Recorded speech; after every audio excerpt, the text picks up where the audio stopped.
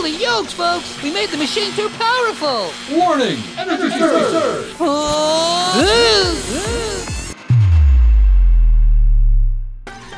Hello, everyone! A little loud in Frittata's lab today, so we're checking in to find out what all this ruckus is about. Ah! Frittata, rocket pants! What am I looking at? It's so cool! Hey, Future Chicken! It's our latest invention! We'll give you one guess what it is. Uh, a lamp?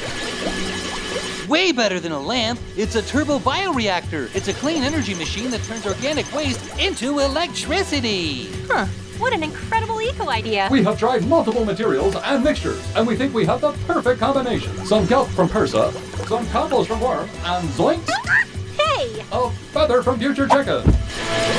Ow! Can I see it in action? Absolutely. What do we want to power up? I am low on batteries. 39%. Holy yokes, folks! We made the machine too powerful! Warning! Energy surge!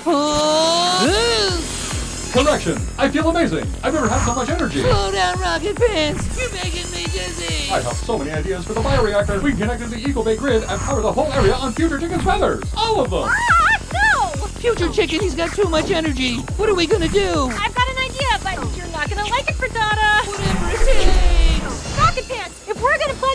Plug into the Bay grid, we need you to do an air survey of the area by flying around it 10 times as fast as you can. On it! Wait, what? Now we just wait. Ah! Not much longer now. Any second now. Ah!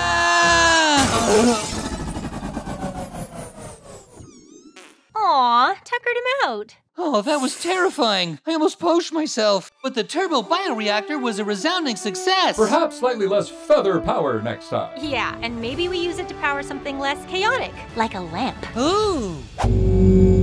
Ah, it's so bright. This has been Chicken In with your host, Future Chicken. Have a bright and beautiful day. Are we on the sun?